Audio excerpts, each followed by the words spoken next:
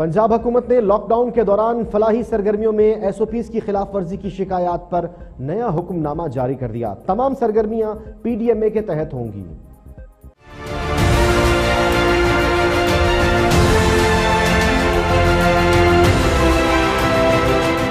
Corona virus کا پھیلاؤ روکنے کے لیے پنجاب حکومت نے فلاحی سرگرمیوں کے لیے نیا حکم نامہ جاری کر دیا، جس کے تحت فلاحی سرگرمیاں انفرادی یا اجتماعی سطح پر پی ڈی ایم اے کے تحت ہوں گی۔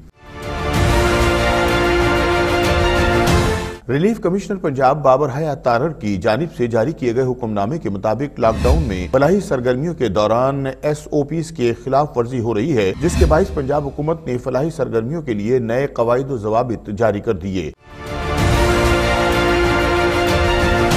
حکم نامے میں کہا گیا ہے کہ اگر کوئی شخص یا ادارہ خود فلاحی سرگرمی کرنا چاہتا ہے تو اسے ضلع کی ڈپٹی کمشنر سے اجازت لینا ہوگی۔ خلاف ورزی کرنے والے کے خلاف Punjab infections and diseases ordinance کے تحت کارروائی ہوگی۔